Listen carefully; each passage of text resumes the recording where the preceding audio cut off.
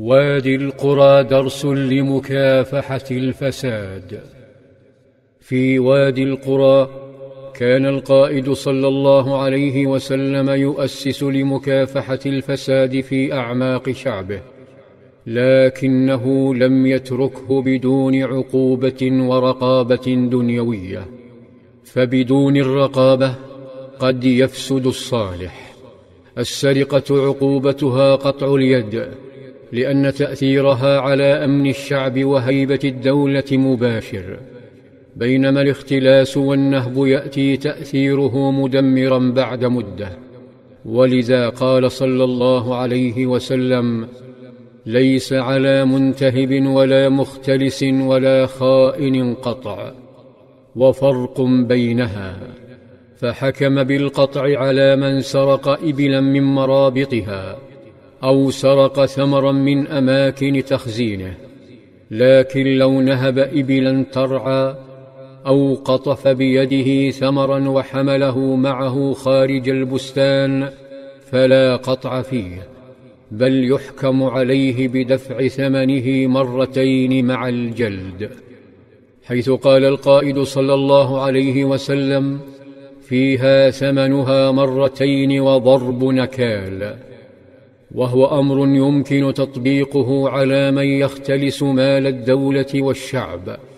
ولكن كل هذه التشريعات لا قيمة لها بل السلطة القضائية برمتها لا قيمة لها إن لم يطبق النظام على الجميع.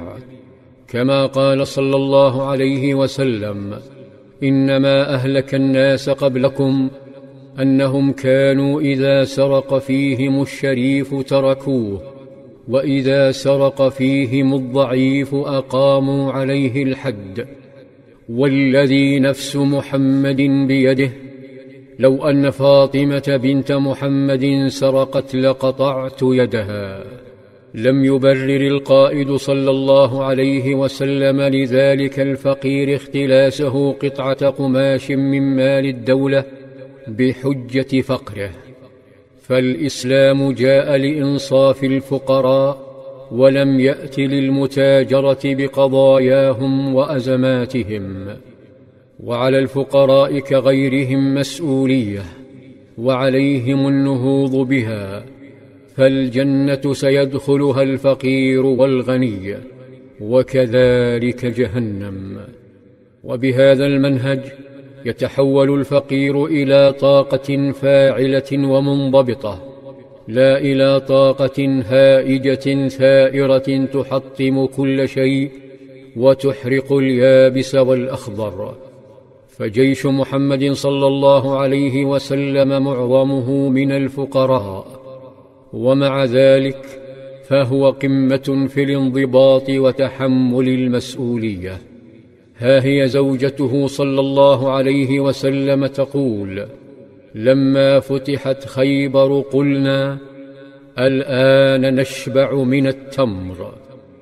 إنها لم تقل نشبع من اللحم أو الفاكهة أو السمن والعسل.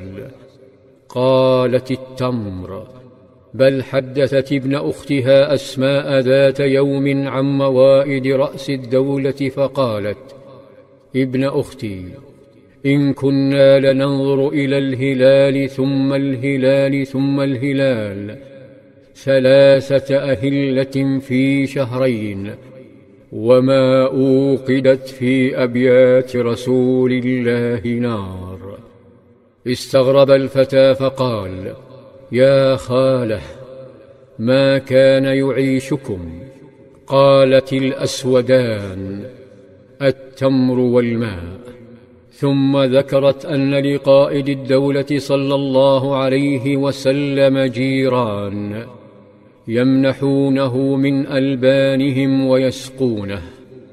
تحدثت أم المؤمنين عن خيبر والتمر فماذا عن أميرة خيبر؟ ماذا عن صفية بنت حيي بعد أن أسلمت؟ وهل زفت أم لا